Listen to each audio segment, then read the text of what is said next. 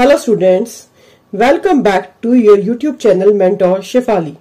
Let's start with new video on database management system. This is the subject of BCA fourth semester Punjab university जो कि आपके second year के fourth semester का ये subject है इस वीडियो में मैं आपको पंजाब यूनिवर्सिटी में आने वाले इंपॉर्टेंट क्वेश्चंस के बारे में बताने लगी हूँ मेरे अकॉर्डिंग ये क्वेश्चंस जो है आपको एग्ज़ाम में मिल जाएँगे तो स्टार्ट करते हैं हम लोग next question is explain block structure of PL SQL यहाँ पे पीएल पीएलएसक्यूएल का हम लोगों को ब्लॉक स्ट्रक्चर बताना है तो सबसे पहले पीएलएसक्यूएल होती क्या है PL SQL is a block structure language the code of PL SQL is written in the form of blocks PLSQL also contain the robustness, security and portability of the Oracle database. So this is the PLSQL.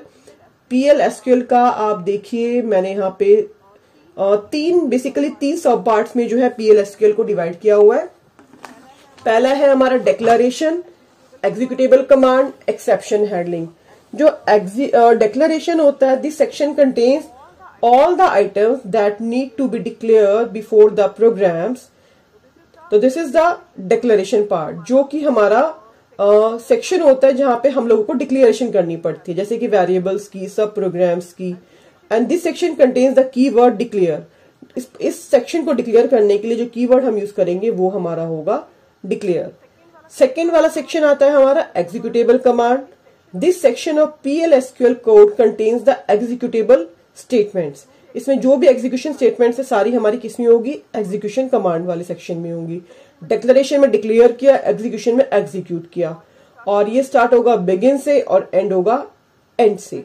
And this is a compulsory section you cannot left blank तो ये तो हो गया हमारा executable command next आता है हमारा third one exception handling this section contains the code to handle all the errors और exception that may raise during the course of the program. Exception handling section starts with the keyword exception यहाँ पे जो हमें keyword use करना है, इस section में वो हमारा होगा एक्सेप्शन का आप नीचे देख सकते हो, यहाँ पे मैंने स्ट्रक्चर बता रखा है पीएल एक्सएल का। वही डिक्लेयर किया डिक्लेयर सेक्शन में एग्जीक्यूटिव सेक्शन को स्टार्ट किया बिगिन से और एंड किया एंड से। उससे पहले हम लोगों का बीच में एक्सेप्शन पार्ट भी आ गया, जो कि जिसने क्या किया? एक्सेप्शन को हैंडल किया। तो this is the block structure of P L SQL Now come to the next question, how exceptions are handled in PLSQL very important question exceptions को जो है कैसे हैंडल किया जाता है? PLSQL में। आप एक्सेप्शन की बात करें तो exception is like an error जो एरर्स होती है, उनको रिमूव कर दिया जाता है, लेकिन एक्सेप्शन को रिमूव नहीं किया जाता एक्सेप्शन को हैंडल कर लिया जाता है, क्योंकि ये जो है हमारी it always occur at runtime. And these error will not be captured at the time of compilation. Hence, these need to be handled only at the runtime. इसीलिए जो है कंपाइलेशन के टाइम हम लोगों को कैप्चर नहीं कर पाते। इसको हम रन टाइम में हम ढूंढ पाते हैं और रन टाइम में हम इनको हैंडल करते हैं एक्सेप्शन को। एक्सेप्शन क्या करती है? Exception will stop the program for from executing further so to avoid such condition they need to be captured and handle separately इसने हमारे प्रोग्राम को रोक देती हैं। अगर हम अपने प्रोग्राम को रोकना नहीं चाहते तो हम इनको क्या करेंगे? हैंडल करेंगे, ताकि हम इनको अवॉइड कर सके। तो this process is called exception handling in which the programmer handle the exception that can occur at the run time next आता है हमारा what is database trigger are its various types? And what, what functions are performed by triggers? Explain with suitable PL SQL code अब देखो सबसे पहले हम देखते हैं ट्रिगर क्या होता है। बहुत इजी क्वेश्चन है. Triggers are stored programs which are automatically executed और fired with some event occur जैसे कोई इवेंट अकर होगी ट्रिगर्स जो होते हैं, हमारे स्टोर्ड प्रोग्राम्स होते हैं, वो ऑटोमेटिकली एग्जीक्यूट होना शुरू हो जाते हैं. ट्रिगर हमारे चार तरह की होते हैं. पहला हमारा DDL that is data definition language trigger DML data manipulation language trigger CLR and log on trigger ये चार तरह के जो है हम लोगों के ट्रिगर होते हैं। अब क्वेश्चन आप देख लेना कितने नंबर का है, उसी अकॉर्डिंग जो है आप इन फोर टाइप के ट्रिगर्स को एक्सप्लेन भी कर सकते हो। नेक्स्ट जो मैंने बताया हुआ है, ये ट्रिगर का पी एल का एक सिंटेक्स लिखा हुआ है तो आप ये भी देख सकते हो। ये मैंने आपको पहले भी पी एल का कोड जो बताया था, ये वाला यहाँ पर ये सेम सिंटेक्स है, जो मैंने यहाँ पे आप लोगों को डिफाइन किया हुआ है। नेक्स्ट आते हैं हम क्वेश्चन की तरफ़. Difference between physical and logical data independence हम लोगों को इनका डिफरेंस बताना है. बहुत इजी डिफरेंस है. जैसे इनका नाम है, वैसे इनका डिफरेंस है. Physical data independence is concern with how a set of data and information stored in a system and logical data independence is concerned with the changing definition of data in a system. We can easily retrieve data in physical, data independence. और logical के अंदर जो retrieving होती है little bit difficult होती है as compare to physical next difference आ जाता है achieving physical data independence is much easier and achieving logical data independence is more difficult as compare to physical data independence next हमारा है, The changes made at the physical level need not be made at the application level. Logical में any change made at the physical level need to be made at the application level as well. वहाँ पे भी आप लोगों को करना पड़ेगा change next difference आता है हमारा इंटरनल मॉडिफिकेशन का. वी मे और may not need the modification at the internal level और लॉजिकल के अंदर make modification at the logical level और इसमें किस टाइप का स्कीमा यूज़ होता है? फ़िज़िकल के अंदर इंटरनल स्कीमा और लॉजिकल में हमारा यूज़ होता है कॉन्सेप्चुअल स्कीमा एग्ज़ाम्पल उसके हो गए ऑल्टरिंग द कंप्रेशन और उसके एग्ज़ाम्पल हो गए एडिंग डिलीटिंग और मॉडिफाइंग तो ये था हमारा difference between physical independence and logical independence अब आपको मैंने डिफरेंस बता दिया, अगर आपके पास डिफरेंस नहीं आता डायरेक्ट क्वेश्चन आता है कि फ़िज़िकल लॉजिक बताओ इंडिपेंडेंस लॉजिकल बताओ तो आप इस डिफरेंस से कंप्लीट क्वेश्चन जो है ड्राफ्ट कर सकते हैं. नेक्स्ट क्वेश्चन हम आता, हमारा आता है explain commit and roll back in SQL with example commit का काम क्या होता है और रोल बैक का काम क्या होता है? मैंने पहले भी आपको बताया है।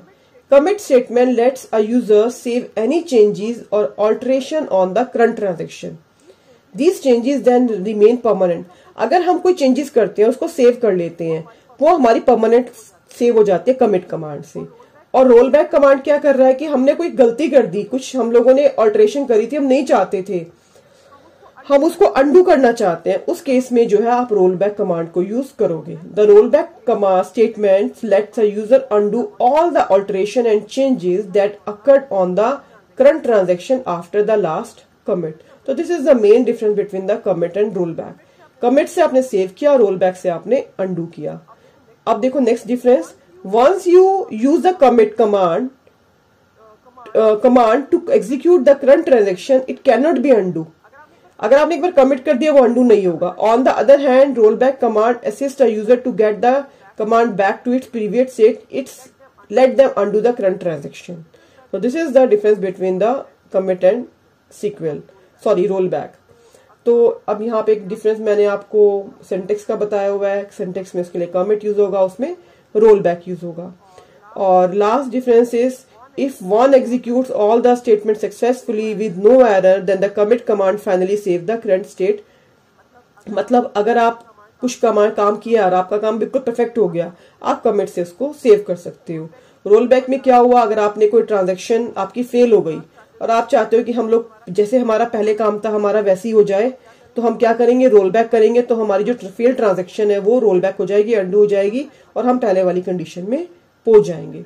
तो this is the difference between the commit and roll back in SQL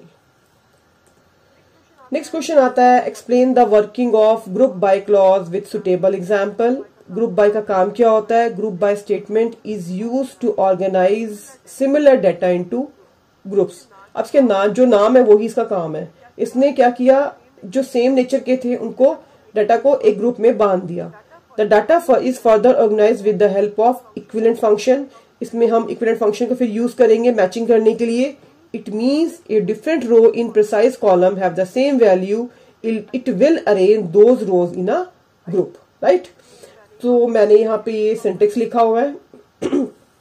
जिसमें मैंने वेयर बाय और ऑर्डर को यूज़ किया है सिलेक्ट कमांड के साथ और साथ में इसके सिंटेक्स को बड़े आसानी से आप लोगों को समझाया है। तो आप ये देखिए, आप लोगों को समझ आ जाएगा। नेक्स्ट क्वेश्चन आता है कि हमारा इक्वी ज्वाइन और आउटर ज्वाइन में क्या है ये और इसका डिफरेंस क्या है?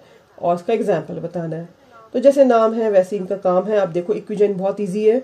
Equi join creates a join for equality और matching a column values of the relative table equi join also create join by using join with on and then providing the names of the column with relative table to check the equality using the equal to हम यहाँ पे equal to का sign use करेंगे equi join table के अंदर, अगर हमें command चलानी है। और आउटर ज्वाइन क्या कर रहा है? ये हमारा आरडीबीएमएस के अंदर यूज़ होगा। We follow the principle of normalization that allow us to minimize the large table into small tables ठीक है? और आउटर ज्वाइन हमारे तीन तरह के हो गए। Left outer join right outer join और फुल आउटर ज्वाइन आप इसको डेफिनेशन फॉर्म में भी कर सकते हो टेबुलर फॉर्म में भी कर सकते हो। नेक्स्ट क्वेश्चन आता है, बड़ा easy what is DBMS difference between file system and DBMS system ये मैंने क्वेश्चन अभी आपको डिफरेंस में बताया था कि डीबीएमएस सिस्टम और फ़ाइल बेस्ड सिस्टम में क्या डिफरेंस होता है। यही दोबारा क्वेश्चन यहाँ पे रिपीट हुआ है। तो ये चीज़ आप इसके अंदर लिख सकते हो। फ़ाइल सिस्टम जो होता है फ़ाइल स्टोर करने के लिए होता है। और इसमें जो डीबीएमएस है it is use to store retrieve the user data उसमें रिडेंडेंसी होती है। डीबीएमएस रिडेंडेंसी के चांसेस कम होते हैं। डाटा कंसिस्टेंसी लो होती है फ़ाइल सिस्टम में। डीबीएमएस में हाई होती है फ़ाइल सिस्टम लेस सिक्योर होता है डीबीएमएस मोर सिक्योर होता है। तो ये क्वेश्चन कंप्लीट डिटेल में मैं आपको पहले बता चुकी हूँ तो आप उसको वहाँ से देख लीजिए। नेक्स्ट क्वेश्चन आता है हमारा compare and contrast three different model of DBMS ये भी हम लोगों ने अलग से मॉडल्स पढ़े थे, अभी हम यहाँ पे सारे मॉडल्स को देखने लगे हैं। तो सबसे पहले देखते हैं डाटाबेस मॉडल क्या है? Database model is a logical structure of database which contains the relationship and constraints that determine about how data is stored and assessed. And most of the data, mo data models can be represented by accompanying database diagram. वहाँ मैंने diagram के through जो है इनको बताया हुआ है और मोस्टली डाटाबेस मॉडल के अंदर हम डायग्राम्स का यूज़ करते हैं इसको हमने फोर पार्ट्स में डिवाइड किया डाटाबेस मॉडल को परा है हमारा hierarchical relational network model object oriented database model this is our hierarchical database model जो हमने पहले भी देखा हिरार्किकल डाटाबेस मॉडल में क्या हुआ? It arrange data in structure and is very much similar to tree जो इसमें सबसे पहली मेन रूट मेन रूट है। मेन रूट के बाद फर्दर हम लोगों के टेलीविज़न और पोर्टेबल इलेक्ट्रॉनिक जैसे एग्ज़ाम्पल में दिखाया हुआ है, ये हमारी इसकी चाइल्ड रूट बन जाती है इलेक्ट्रॉनिक्स की। लेकिन जो टेलीविज़न है, वो ट्यूब और एलसीडी और प्लाज्मा का पेरेंट रूट बन जाता है और ट्यूब एलसीडी प्लाज्मा इसके चिल्ड्रन बन जाते हैं। तो ये था एग्ज़ाम्पल हमारा हिराकिकल डाटाबेस मॉडल का। नेक्स्ट है हमारा नेटवर्क मॉडल नेटवर्क मॉडल आप देखिए। नेटवर्क मॉडल में क्या हुआ? एक चाइल्ड के मोर देन वन पेरेंट हो सकते हैं। तो it represents many to many relationship and this is this model is easier and faster आप इसका टेबल देखिए। यहाँ पे डिपार्टमेंट सी देखिए। आप सबसे नीचे लेवल पे। डिपार्टमेंट सी का जो पेरेंट है प्रोजेक्ट वन भी है। और प्रोजेक्ट टू भी है। तो ये मैनी टू मैनी रिलेशनशिप को रिप्रेजेंट करता है। तो this is this is example of network model next आता है हमारा relational model relational model in DBMS is an approach to logically represent and manage the data store in database by storing data in table इसके अंदर जो है हम relations का attributes का टपल्स का स्कीमास का, इन सब की पॉइंट्स को यहाँ पे हम लोग यूज़ करेंगे। रिलेशनल डाटा मॉडल का देखो स्ट्रक्चर बताया हुआ है। यहाँ मैंने बताया है कि आपके पास आरडीबीएमएस के अंदर प्राइमरी की भी होगी टप्पल्स रोज भी होंगी एट्रीब्यूट्स भी होंगे। यहाँ इस डायग्राम में आप देख सकते हो किस किस को मैंने टप्पल बताया हुआ है, किस किस को मैंने एट्रीब्यूट दिखाया हुआ है। मैंने बहुत इजी एग्जांपल्स आप लोगों के लिए लिए हैं ताकि जो है आप बड़े इजी से इनको समझ सको। नेक्स्ट क्वेश्चन हमारा आता है कि explain object oriented database model जो हमारा फोर्थ मॉडल बन जाता है।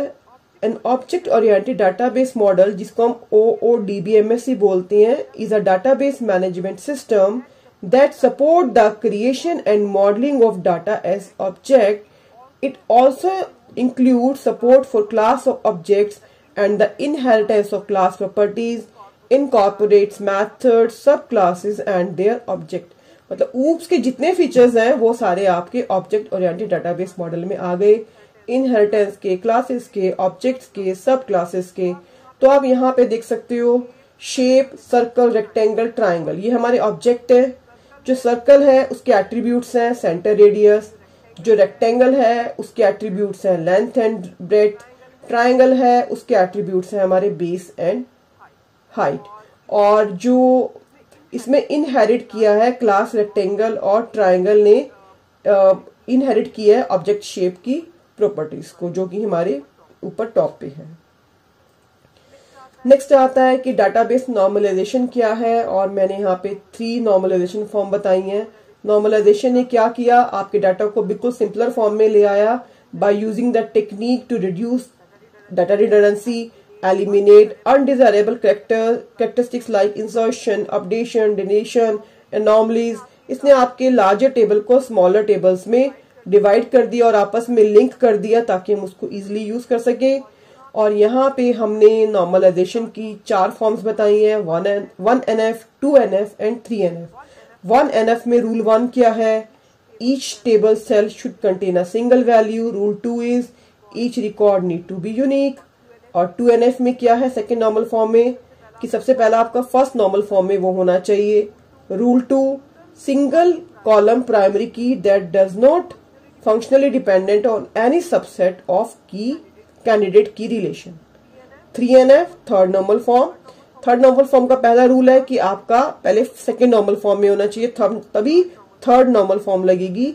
And second rule is has not transitive functional dependency तो ये था हमारे तीन rule one N F two N F and three N F next question आता है what is cursor cursor is temporary work area created in the system memory when a SQL statement is executed जो temporary work area बनाया जाता है sequence की command को execute करने के लिए उसको बोला जाता है कर्सर और कर्सर क्या करता है? It contains information on select statement and the rows of data accessed by it and this temporary work area is used to store the data retrieved from the database and manipulate this data और cursor हमारे दो तरह के हैं implicit cursor and explicit cursor this is the difference between implicit cursor and explicit cursor जो implicit cursor होता है ये ऑटोमेटिकली इन्वोक हो जाता है ऑटोमेटिकली क्रिएट हो जाता है are automatically created when select statement are executed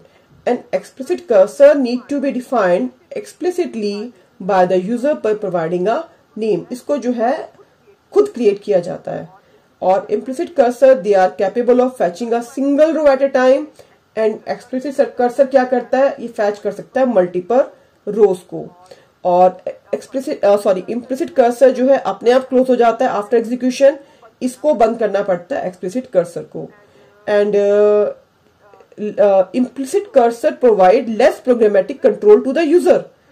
Control कम होता है यूज़र का इम्प्लिसिट कर्सर का। लेकिन एक्सप्लिसिट कर्सर में programmer programmer has entire control implicit cursor less efficient होता है as compare to explicit explicit और explicit cursor is more efficient as compare to implicit और उसके बाद जो है आप देख सकते हो दोनों का सिंटेक्स मैंने दिया है कि कैसे कैसे दोनों को यूज़ करना है।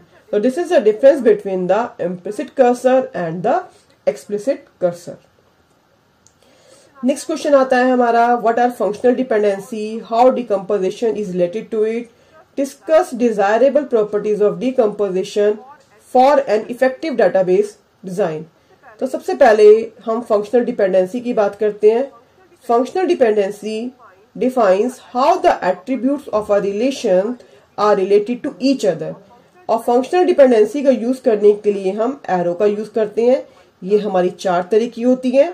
Trivial non trivial multi valued and transitive functional dependency तो ये था हमारा फंक्शनल डिपेंडेंसी और उसकी प्रॉपर्टीज़ क्या है? डिकम्पोजिशन की देखिए जो डिकम्पोजिशन है वो लॉसलेस होनी चाहिए। लॉसलेस मीन्स कि जब हम इंफॉर्मेशन को आ, हम लोग डिकम्पोज करते हैं तो हमारी इंफॉर्मेशन लॉस नहीं होनी चाहिए। कि जब हम उसको वापस रिज़ल्ट से सेम फॉर्म में लेके आते हैं। ठीक है, देखो जब अगर हम इसकी डेफिनेशन की बात करें, decomposition must be lossless. It means that the information should not be get lost from the relation that is decomposed.